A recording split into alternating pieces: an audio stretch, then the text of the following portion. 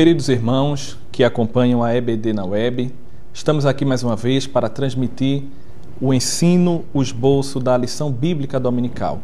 Nessa feita, nós queremos, desde já, louvar a Deus pela sua audiência. Você que tem nos acompanhado, acompanhado os nossos vídeos, que tem dado a sua opinião, o seu comentário, continue é, nos acompanhando e também divulgando para que outras pessoas também possam serem beneficiadas pelo conteúdo e todo o debate que eh, será feito aqui em torno da temática da lição. Eh, nessa feita, nós vamos estudar a lição de número 5, que tem como título A Maravilhosa Graça. Eh, é uma lição muito maravilhosa que, segundo a sua verdade prática, nos diz o seguinte: Cristo Jesus é a graça divina manifestada em forma humana. A lição de hoje terá como o propósito central trabalhar o capítulo de número 6 da Epístola aos Romanos, comentada pelo pastor José Gonçalves, e nessa feita aqui com os nossos comentaristas, o pastor João Barbosa, que já é comentarista aqui no programa da EBD na web já de muito tempo, como também o presbítero Sóstenes Moura, que também dará sua contribuição relativa a esta lição tão importante. Muito bem. Nessa feita, nós vamos aproveitar todo o tempo é, possível para trabalharmos ponto a ponto dessa lição. Em primeiro lugar, eu queria perguntar ao presbítero Sóstenes é, que desse um, uma palavra introdutória, no sentido de dizer de forma panorâmica do que trata o capítulo de número 6 de Romanos. Nós sabemos que na teologia existem muitas nomenclaturas diferentes para a graça. Os teólogos gostam muito de é, trabalhar muitas espécies de graça. Mas quando nós vamos até o texto sagrado, nós encontramos uma certa simplicidade e objetividade do apóstolo Paulo. Então, do que trata de fato o capítulo 6 de Romanos, querido Sóstenes? Bem, inicialmente eu gostaria de agradecer a oportunidade que Deus tem concedido de estar mais uma vez neste programa. E Deus, através da superintendência, tem assim possibilitado que sempre, ou vez ou outra, é, estejamos dando essa contribuição aqui juntamente com os irmãos. Bem, é, na verdade, esse capítulo de número 6 da carta de Paulo aos Romanos, ele tem sido de uma importância é, muito grande isso tem sido atestado ao longo da história da igreja e da própria história da teologia. É, tem modificado a leitura e a aplicação por parte do Espírito Santo de Deus desse texto que aqui se encontra. Tem possibilitado que homens se convertam e conheçam a verdade e que inclusive homens, grandes homens religiosos, eles sejam dotados de capacidade de encontrar a verdadeira razão de ser da igreja aqui na terra. Eu digo isso pensando em Agostinho, pensando, desculpe, é, pensando em Lutero, pensando em e tantos outros que, que vez ou outra vão aparecendo. É, sobre é, a visão panorâmica assim da do trimestre, nós percebemos que o, o, o próprio comentarista ou o editor escolheu como tema para todo este período maravilhosa graça. E hoje nós estamos no tema central do trimestre, digamos assim, a maravilhosa graça de Deus revelada através de Cristo Jesus. Nós já vimos em lições anteriores o conceito de graça, vimos a atuação do Espírito Santo de Deus através da justificação, até, através até da própria santificação, e hoje nós vamos expandir um pouco mais essa ideia. É, através da atuação do Espírito de Deus, por, da santificação, seja ela aquela inicial, a imediata, chamada também justificação, ou seja ela progressiva, que ajuda o crente a revelar-se como o crente, tem todo um amparo é, na, na atuação do Espírito Santo de Deus na vida dessa pessoa. E para que o, o crente possibilite que o Espírito Santo de Deus continue atuando na sua vida, ele primeiro, nós já vimos, ele tem que passar lá na cruz do Calvário, conhecer Jesus, crer no sacrifício de Jesus Cristo na cruz. E depois ele tem que evidenciar que passou no Calvário e que recebeu a regeneração da parte de Deus. No capítulo de número 6, o apóstolo nos revela que não é a obra humana que garante a, a santificação, a retidão do homem, mas é o próprio querer de Deus. A graça de Deus ela tem sido abundante na vida de grandes pecadores, mas não porque a graça esteja é, diretamente ligada ao pecado. Ela faz oposição ao pecado. Né? Mas os grandes pecadores usufruem, quando arrependidos e deixada assim aquela lacuna do grande pecado, eles usufruem agora do enchimento da parte de Deus através da sua graça. E é por isso que o próprio apóstolo ele nos diz que onde abundou o pecado, superabunda a benesse, o, o, o benefício de Deus na vida desse homem. E é isso que nós encontramos nessa lição. Muito bem. É, muito bem. De acordo com o que o presbítero Sóstenes falou, nós podemos ir diretamente agora para o versículo 1 é, do capítulo 6 de Romanos.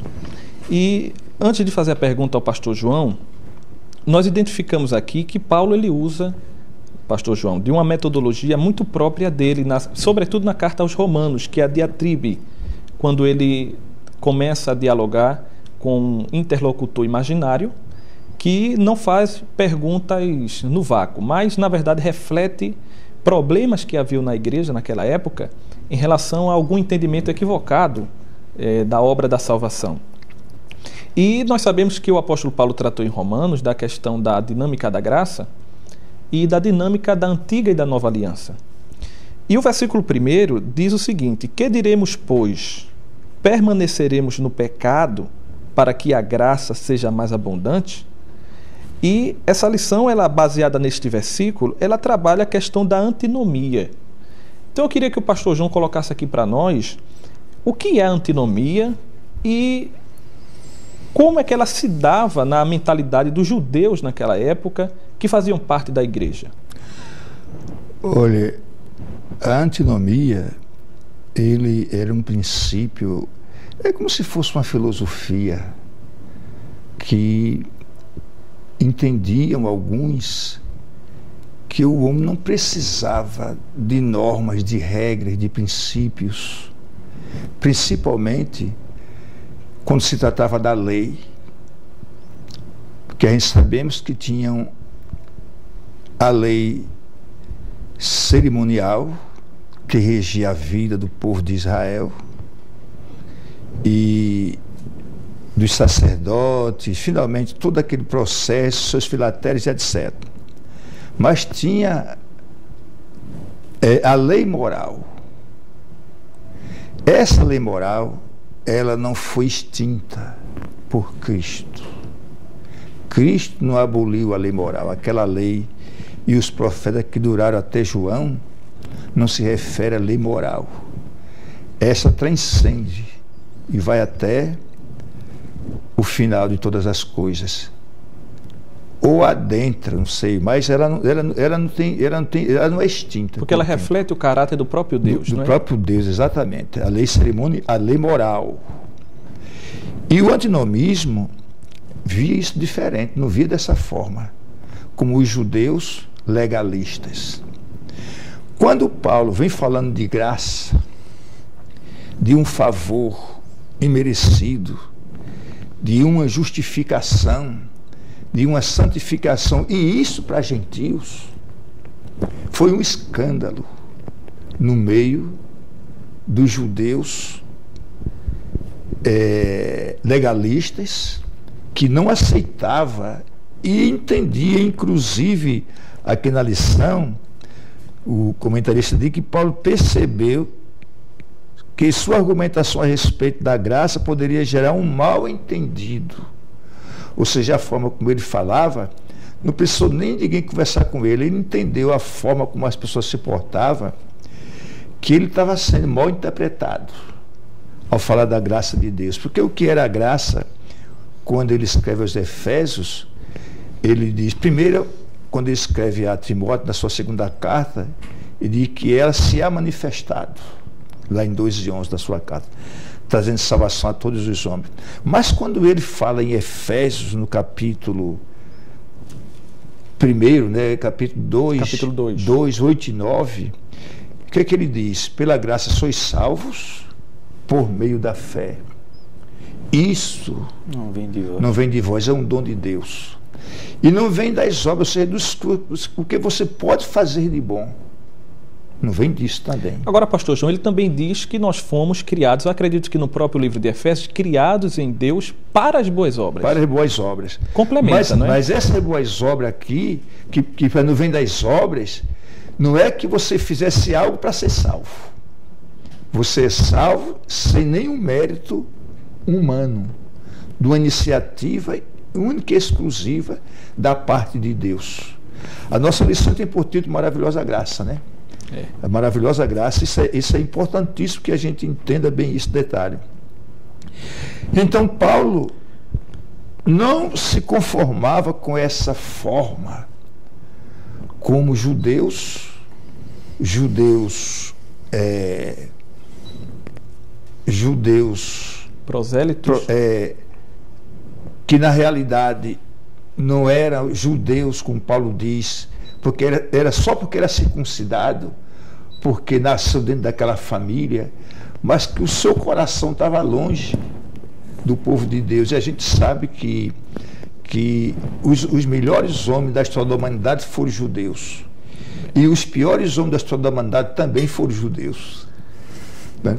Tanto os melhores como os piores. Os melhores foram judeus, Só os piores judeu. também foram judeus. Sem nenhuma dúvida, se for, for para a história, você vai ver que que isso tem respaldo na história, né? É, é, é riquíssimo nisso. Então Paulo ele não aceitava essa questão, porque não é isso que ele estava dizendo, que desprezasse é, a lei, principalmente a cerimonial, que ela não tem fim e ela prossegue. Ele diz assim: infelizmente o antinomismo tem ganha força em nossa sociedade, passando a ser socialmente aceito, até mesmo dentro das igrejas evangélicas. Esta é uma doutrina venenosa e errônea, que faz com que a graça de Deus pareça validar todo tipo de comportamento contrário à palavra de Deus. Em geral, tal pensamento vem, vem revestido ou vestido de uma roupagem espiritual, porém antinomista. Costuma ser relativista quando se utiliza a expressão não tem nada a ver. Ou seja, há um evangelho hoje, um evangelho fácil, light, que as pessoas são evangélicas porque, em algum sentido, passou a ser um status. É como a gente voltasse para o quarto século de nossa era, quando antes disso ser cristão era a coisa mais abominável.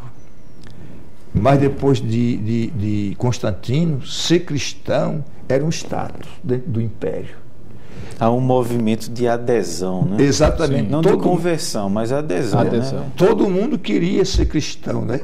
É. Eles aderiram àquilo, não se convertiam mas aderiam àquilo ali, porque tinha as benesses do império. Hoje, nesse país chamado Brasil, onde temos, eh, eu acredito, para lá de 50 milhões de evangélicos. Só de pentecostais? É. Pentecostais talvez não, não, não tenhamos essa quantidade toda. Mas o certo é que, de alguma forma, nesse país, quem não foi evangélico, também, alguém já disse assim, qualquer uma outra religião que você possa imaginar, seja católico, espírita ou etc. Se ele não foi evangélico, também um outro tipo de religião, legitimamente ele também não é, porque ele tem alguma coisa, está amalgamado na alma do povo. Mas só que isso trouxe um evangelho onde você não tem compromisso. E não são poucas as igrejas que ensinam isso.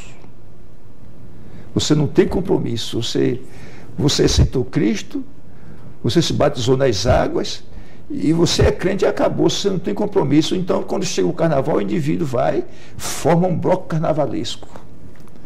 Nesse último carnaval aconteceu isso. Agora seja dito, né? Não tem um compromisso com a palavra, com de, a palavra Deus, de com Deus. Deus. Mas às vezes tem um compromisso com uma instituição, com aquelas regras exigidas da instituição, que geralmente são econômico-financeiras, né? É, e, e, assim, pastor João, é, inclusive aproveitando é, é a fala do senhor e também a fala do presbítero Sóstenes, eu já ouvi pessoas na igreja, queria que o senhor comentasse o presbítero Sóstenes também, trouxesse um, uma colocação, usando o texto paulino que diz: Aonde abundou o pecado, superabundou a graça. E dizer assim: bem, então se aonde o pecado existe, abunda, a graça superabunda, então vamos pecar para que a graça seja mais abundante. Isso ainda acontece nos nossos dias? Sóstenes? É uma característica de alguém bastante cínico, né? E que é. perde o respeito, perde o temor a Deus e às coisas de Deus. Que existe, existe. Né? Infelizmente, nós nos deparamos com isso e temos que ser bastante sinceros para, inclusive, dizer que somos também tentados a esse tipo de raciocínio, a esse tipo de pensamento.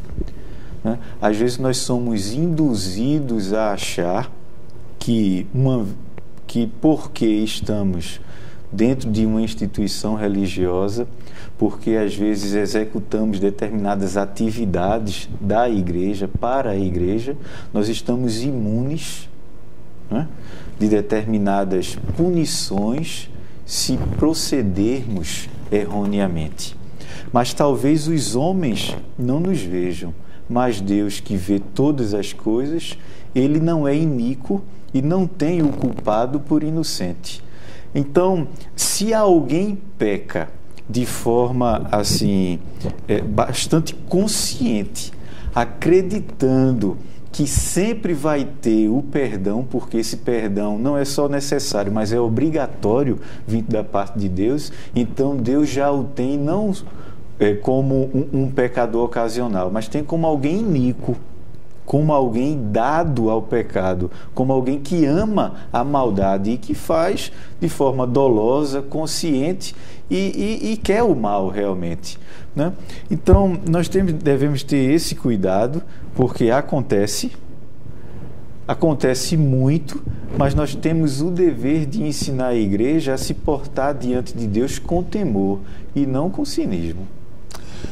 É, e esse, e esse que uma, das, uma, uma dos, dos, dos, pressupostos do antinomismo é que não existem normas. É a mesma coisa do pós-modernismo. Não existe absolutos. Tudo é relativo. Tudo é relativo. É, é como se fosse irmãs gêmeas essas teorias. É coisa inventada no inferno, né? Então, não, não, não existe isso. Há normas, sim. Há pressuposto absoluto, sim.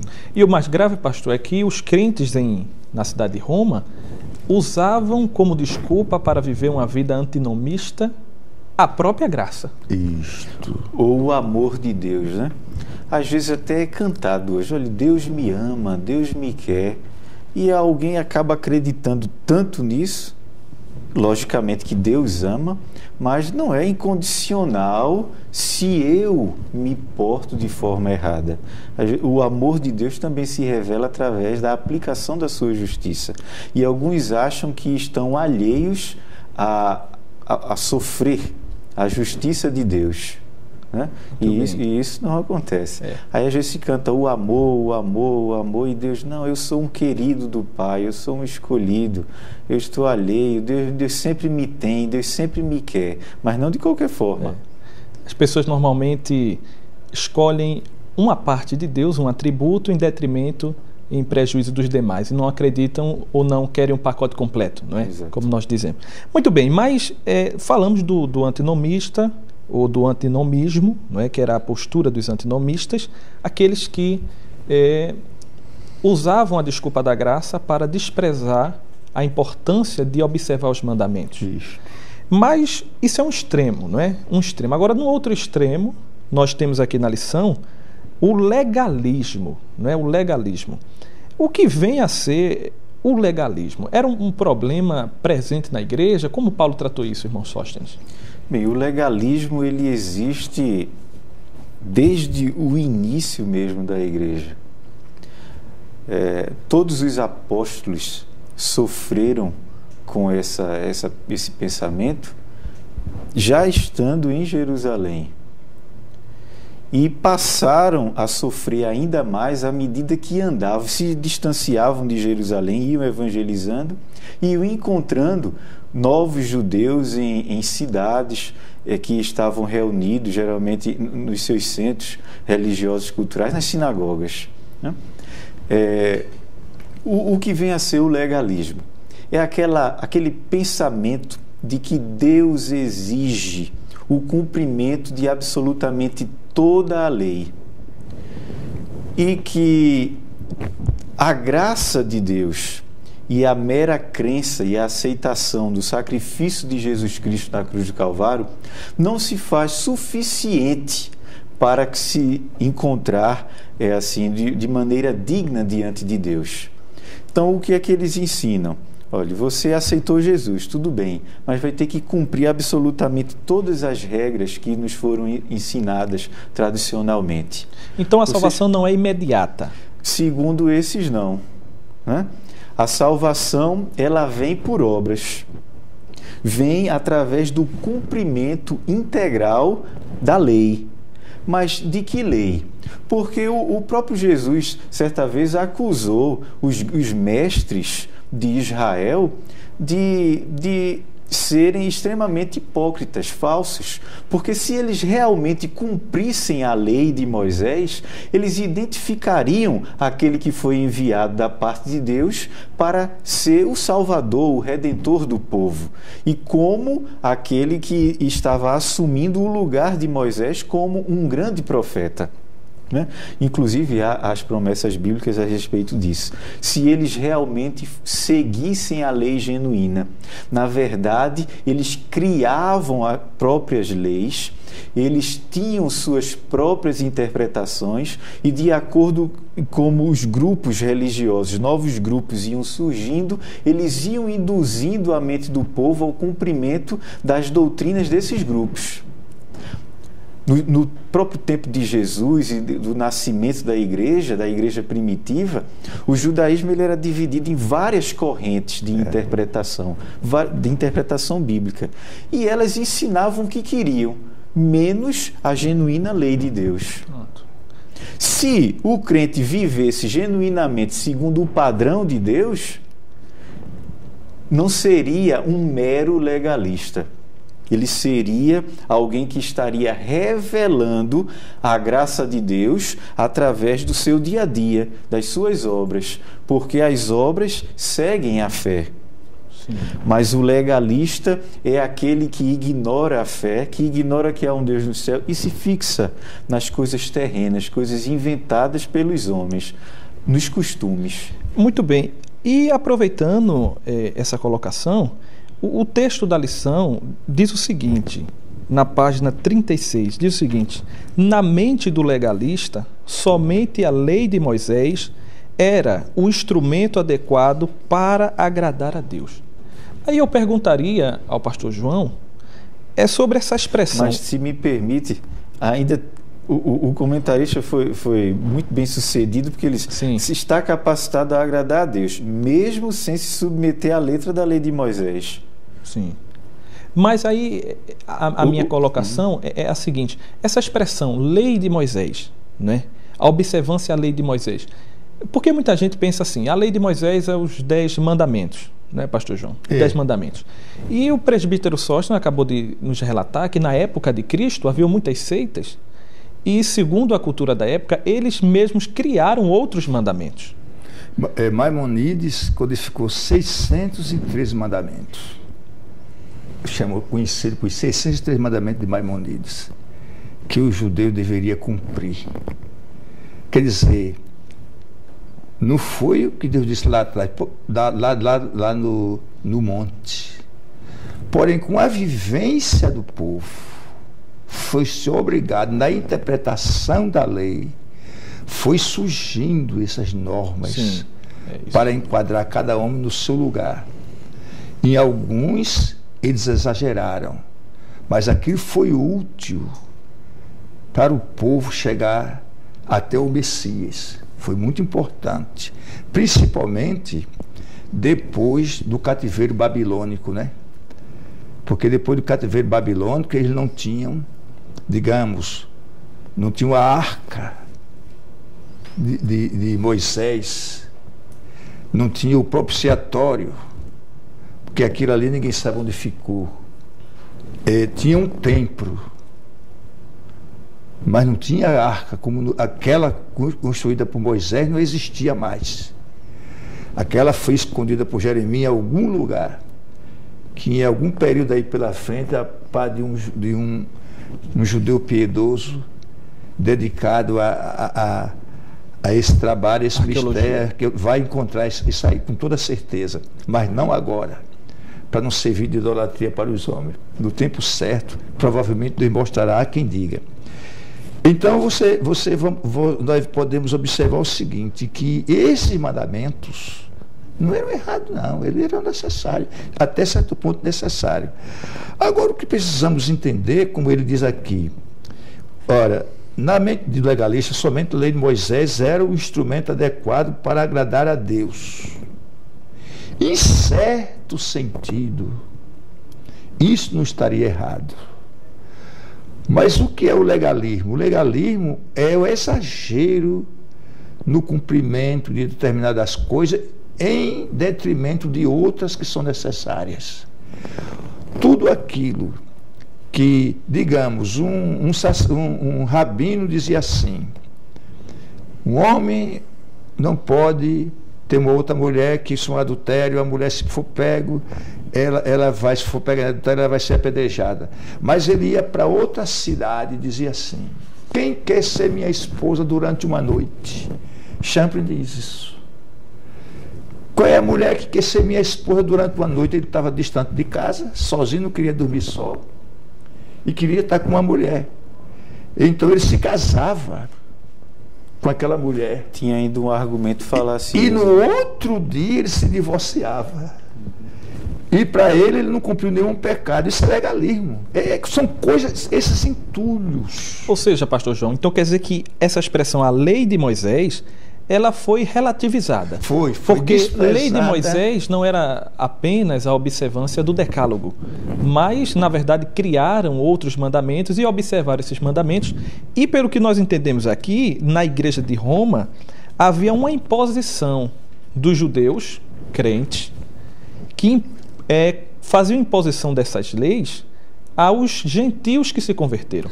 Agora, é, Pastor João, aproveitando também o tema do legalismo, hoje nós sabemos que existem muitas igrejas que modernamente são ditas legalistas, ou seja, voltam à observância das leis que o senhor se referiu, leis cerimoniais, guarda do sábado e leis dietéticas e outras mais. Isso, na verdade, como Paulo está argumentando aqui, não seria, na verdade, um, um, um retrocesso terrível, espiritual? Terrível, terrível. Tem uma determinada. Eu vou abrir aspas, entre aspas, uma determinada igreja, e eu vou aspirar, ela está entre aspas, que está se tornando uma seita judaica a passos largos, seus princípios, seus fundamentos, e não cristã Quer dizer, é um cristianismo com a cara do judaísmo da pior espécie. É o que a gente está vendo surgindo nesse país e se espalhando pelo mundo. E até sendo aplaudida por rabinos famosos da atualidade, esse tipo de comportamento. Então, mas damos graças a Deus porque não somos tabernáculos sem arca. Tem igrejas, precisa entender, eu vi um pastor abalizado, um, homem de Deus famoso, muito calejado, quando começaram a surgir determinados movimentos que hoje é chamado de neo-pentecostais, pentecostalismo. E ele disse que orou a Deus, perguntou a Deus acerca disto, e o Senhor disse a ele o seguinte: meu servo, essas igrejas são tabernáculos sem arca. E ele disse que não entendeu. E foi ler a Bíblia. Por que tabernáculo sem arca? Isso foi numa escola bíblica, eu nunca esqueci disso. E ele disse que quando a arca dos dias de Eli foi levada para o cativeiro, nunca mais voltou para o tabernáculo, que ficou em Siló. Mas lá ficou o altar do incenso e ficou o altar de ouro. Vocês estão entendendo, tá? Sim. No Santíssimo ficou vazio, mas tinha a, o altar do incenso, do, do, do holocausto, tinha a bacia e tinha o altar de ouro, que era o altar do incenso propriamente dito. Né? Menos a arca. Lá de, menos a arca. Que é Quer dizer, de tinha algum movimento de Deus ali. Mas o principal não existia. Mais tarde, no ministério de Jeremias, Deus disse: Eu farei desse templo como fiz com Siló. É a mesma coisa, está abandonado. Não vai ter mais nada. Ineficaz, né? Ineficaz. Então, o que a gente vê hoje é justamente isso. Tabernáculos é, é, é, sem, arca. sem arca. Existe alguma coisa de Deus lá? Tem. Mas falta, Mas falta a glória de Deus. Muito bem. Isso é muito, isso é, isso é teologicamente, isso é seríssimo. É para se analisar esses fundamentos que a Assembleia de Deus, aquela fundada pelos missionários lá em Belém, Pará, lá dos idos dos anos de 1910, precisa os líderes dessa nova geração ter muito cuidado para manter aqueles princípios e essas estacas que foram fincadas para que esses limites não sejam alterados, porque vem sendo alterado gradativamente, mas que tenhamos cuidado para que os limites estabelecidos não sejam alterados. E tem algo, se me permite, que é bastante explorado no, no campo das ciências das religiões, que é a representatividade do divino. Isso. E hoje nós temos percebido que existe uma necessidade de representatividade de algo divino, inclusive no meio evangélico. Existe uma exigência, às vezes, de um ritual, de um ritualismo, quando biblicamente isso já não é mais necessário. Materializar a fé, não é? Materializar a fé. É fé. Se não vai ser é, em um objeto tradicionalmente reconhecido como proibido, vai ser em algum outro em que não há, ou, não há menção na Bíblia. Não, não se aparece na Bíblia, então joga-se para ele. Vamos colocar assim, numa linguagem bem mais comum. Não é aquele ídolo, não é aquela imagenzinha, não é aquele homenzinho, não é aquele animalzinho que está sendo adorado. Mas vai, vai uma peça de roupa, é um ornamento qualquer. Agora, só, né? aproveitando a sua fala, é, me veio agora aqui à mente que dentro do movimento neopentecostal, isso aqui a gente vai falar logo para uhum. passar para o segundo ponto. É, sobretudo no movimento neopentecostal, daqueles que seguem teologia da prosperidade, confissão positiva, é, algumas igrejas têm ficado com a cara de sinagogas, não é? Alguns pastores usando kippah, né? Igrejas que, que colocam nas suas paredes enfeites como eh, o chofar, arca da aliança, inclusive candelabros eh, diante do púlpito. Essa ju judaificação da igreja cristã, ela não seria um retrocesso Exato. espiritual? Infelizmente não é só no, nessa entidade, na instituição que você falou. Eu, tem que ser dito, e pode inclusive ser dito aqui, que eu já vi um, um púlpito de uma igreja Assembleia de Deus muito tradicional, muito conhecido no país, que tem lá a arca, uma arcazinha, uma réplica pequena né, da aliança. Está lá no púlpito. E, é, e eu repito aquilo que falei uh, recentemente, inclusive. É uma exigência da materialização. Então, alguns líderes têm se deixado levar ou percebem que o povo é, é, é, é de fácil condução para esse nesse sentido, ele se torna mais vulnerável, se torna mais manipulável e tem se aproveitado. As pessoas querem ver algo e dizer que Deus está ali. Quando na verdade, Deus não precisa da matéria, dessa matéria. Deus não precisa daquele objeto. É um retrocesso, sim.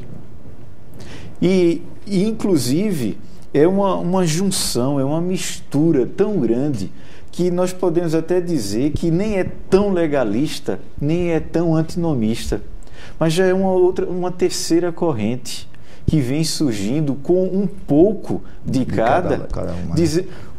É, jogando a atenção, o coração do povo em um objeto, mas dizendo ao povo que pode fazer o que quiser, porque Deus aceita, desde que se cumpra aquele ritual.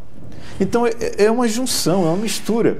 E isso é oriundo, inclusive, da mentalidade dos nossos tempos dos nossos dias. O pastor João, inclusive, já falou aqui da, da, da pós-modernidade.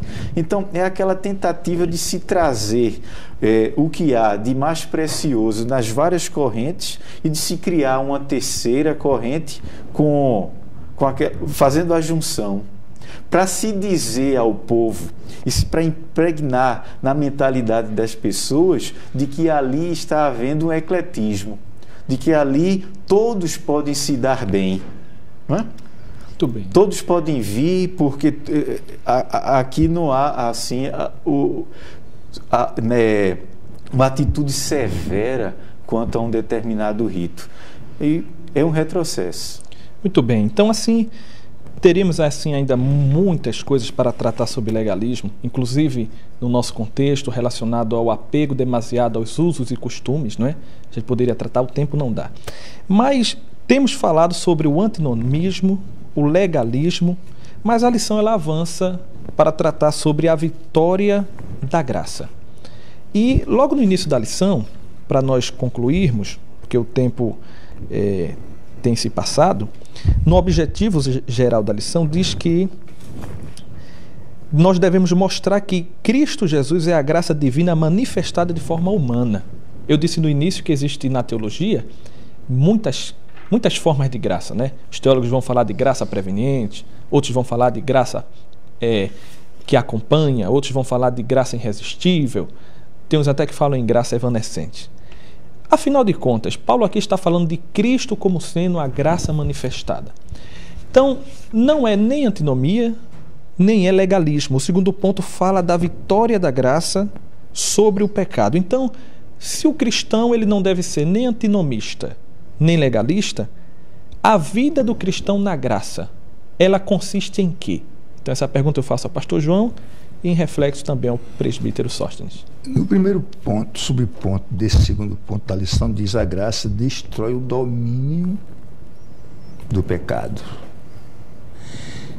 E nesse primeiro subponto, ele vai desenvolver é, por que a graça destrói esse domínio do pecado. O pecado ele é, ele é como um senhor, um ditador ruim, que impõe os seus as suas ordens sobre aqueles que estão cativos debaixo do seu jugo. Quando a graça de Deus veio, e o comentarista aqui diz assim: o pecado dominou os que não estavam debaixo da lei. Veja bem, pecado dominou os que não estavam debaixo da lei e dominou O pecado dominou os que não estavam debaixo da lei e dominou também os que estavam sob sua égide. Ou seja, quem estava sem lei foi dominado pelo pecado. Mas quem tinha lei também tornou-se pecador, porque não cumpria o que a lei dizia. Então tornou-se pecador. Não havia escapatória por causa do velho homem. Uma expressão que para Paulo é sinônimo de natureza caída. Esse velho homem que no capítulo, nesse capítulo 6 de Romano, Paulo desenvolve isso com muita maestria. E isso, quem quiser se debruçar sobre este assunto, tem muito que aprender sobre este assunto. O comentário de Lloyd Jones sobre sede romana é riquíssimo. E mesmo de Champ também é muito bom. Entre outros. E ele diz assim: é, uma expressão para, que para Paulo é sinônimo de natureza caída e pecaminosa, que esse Nico tirano conseguiu reinar. Como se libertar então desse tirano? Paulo mostra que a solução de Deus foi aquilo que lhe servia de base de sustentação, o corpo do pecado. Sabemos isso, que o nosso velho homem que foi com ele crucificado para que o corpo do pecado seja desfeito. Quer dizer, quando Cristo morreu lá no Calvário, eu estava lá, naquela ocasião, com ele. Eu morri também. Eu estava lá. E quando ele ressuscitou, porque eu aceitei Cristo, então eu estava lá. E quando ele ressuscitou, eu também ressuscitei eu estava lá também na ressurreição. Vejam só, vamos, vamos, vamos prosseguir aqui. Sabendo isso, que o nosso velho homem foi com ele crucificado para que o corpo do pecado seja desfeito, a fim de que não sirvamos mais o pecado. O corpo do pecado significa mais do que simplesmente corpo físico, mas o corpo como algo que instrumentaliza o pecado e que precisa ser destruído. Esse processo é que aconteceu com a morte e ressurreição de Cristo e aqueles que, se, que aceitam a Cristo como Salvador. Por que Paulo escreveu isso aos romanos? Porque os romanos, os judeus de Roma, a princípio tinham o domínio, eles eram maioria mas foi o Cláudio, me parece, que expulsou eles de Roma. Cláudio. Não foi? Foi Cláudio.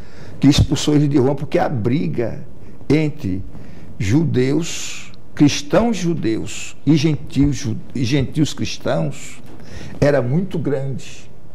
Quando eles foram. E, e foi uma das razões que levou Cláudio a expulsar os judeus de Roma. Quando Nero assumiu que trouxe os judeus de volta, permitiu a volta dos judeus, a essas alturas Há quem diga que quando Cláudio expulsou os judeus, Deus trabalhou naquele negócio para que cristãos, gentios cristãos, pudessem ser a maioria.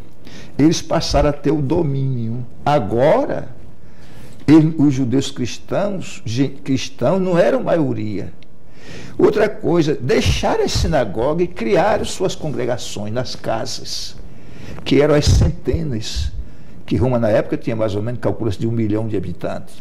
Então eram centenas de casas espalhadas onde se reuniam. E era a maioria, já não tinha tanta influência, mas Paulo sabia das brigas e das dificuldades existentes entre eles, das teorias que era levantada para manter o povo debaixo, porque a pressão para se voltar ao antigo judaísmo era muito grande. Porque, minha gente, eram coisas tradicionais e até em certo sentido boas. E largar isso, que é a mesma coisa de hoje. Deixar o mundo com as seus atrativos e seguir a Cristo é coisa fácil? Claro que não é coisa fácil. Então ele vem mostrar como a graça destrói o reinado da morte que era um verdadeiro império. Mas por quê? Porque Cristo é chamado de a graça de Deus.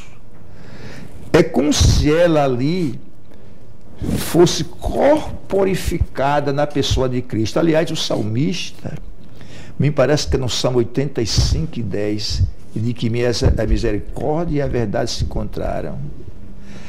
Porque lá no Antigo Testamento ele não usa a palavra graça. A justiça e a paz se beijaram. É como se a misericórdia, a, a, a, a, graça e a verdade se encontraram, justiça e paz se beijaram. É justamente isso, na pessoa de Cristo. Então, quem olhava para Cristo podia dizer: ali está a graça de Deus. Quem aceita Cristo pode dizer: eu aceitei a graça de Deus. E essa graça traz vários benefícios para o homem que segue a Cristo. Quer dizer, ele não está mais debaixo do jugo deste mundo cruel. Mas ele agora é uma pessoa livre em Cristo Jesus, não para viver a vida da forma que ele bem queira e entenda, mas conforme os padrões estabelecidos pela palavra de Deus. Tem exigências, tem muitas exigências.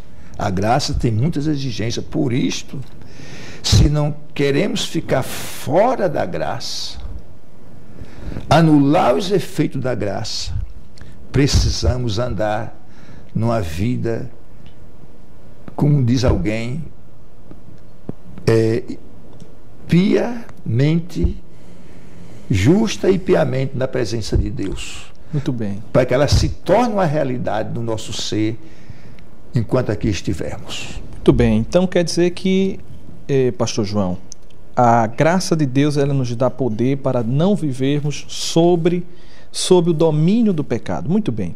Então o tempo, infelizmente, tem é, avançado. E eu queria ouvir as considerações finais do presbítero Sóstenes dentro do terceiro ponto da lição, que trata sobre os frutos da graça. É, temos visto que a graça de Deus ela não é razão para viver uma vida de antinomia, nem uma vida de legalismo.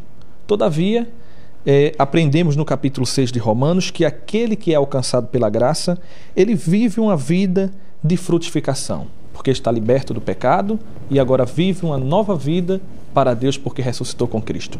Então, Sóstenes, nas suas considerações finais, o crente que vive sob a graça de Deus, ele é um crente que vive uma vida de verdadeira frutificação?